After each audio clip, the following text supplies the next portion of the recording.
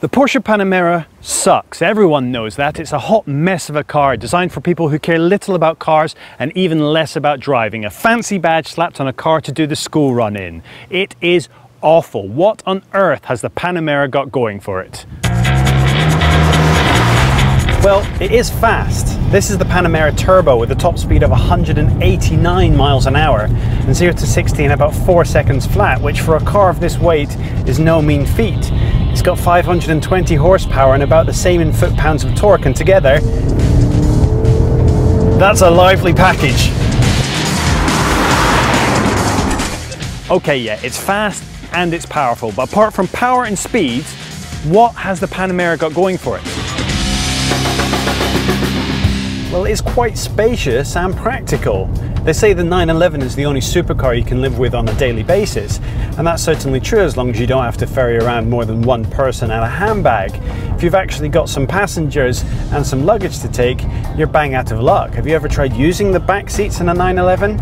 If you can't chop off your legs for the duration of the trip, you're not going to be able to fit in the back. The Panamera, however, because the engine isn't in the back, has room for a really big boot, and because it's the length it is, has two proper seats in the back comfortable seats with legroom and rear entertainment systems. Well, of course it's spacious and practical. I mean, look at it. But apart from being spacious, practical, powerful and fast, what has it got going for it? I mean, it's front engine for Pete's sake. Porsche are known for their rear engine and mid engine cars. What on earth do they know about making front engine cars? Yeah, except the 944, the 924, the 928 GTS was awesome, the 968.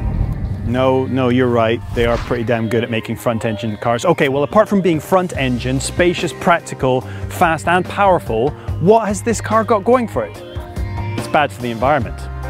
It is bad for the environment. It's huge, it's heavy, it's got a big old V8 engine. This car is bad for the environment.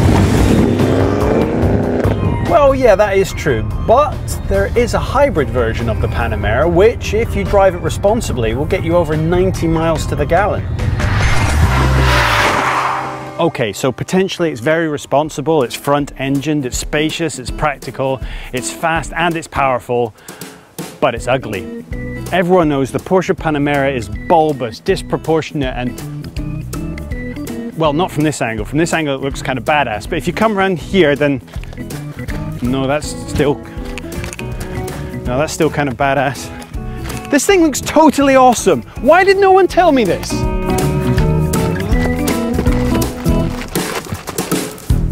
Okay, okay, so it is potentially responsible, spacious, practical, front engine, fast and powerful, and it looks badass, but I bet it sounds like crap.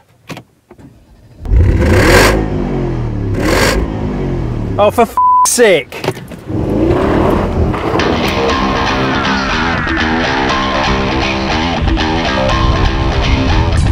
Okay, I'm sure you get my drift by now.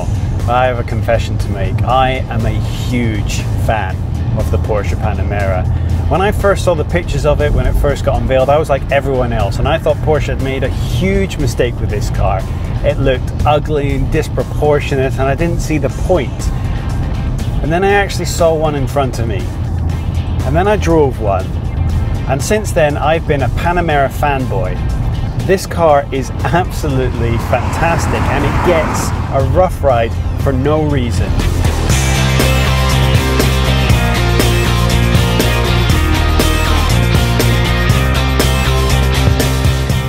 Now obviously if you could pick any car from the Porsche lineup to have as your own, you would pick the 918 or if you're being a bit more modest, something from the 911 variants. And that makes a lot of sense and truly I would prefer that as well. But I live in the real world. I have two kids. I have to ferry stuff back and forth and I need an element of practicality in my life. And frankly, a 911 on the drive would look great, but wouldn't really get me anywhere. The Panamera, on the other hand, has everything in it I want from a Porsche. It's got performance, handling, power, and yes, the looks as well. But on top of that, it's got room for my kids in the back and all the luggage we could possibly throw at it. This is the Porsche for the real world. This is the Porsche for the real driver. This is my Porsche of choice.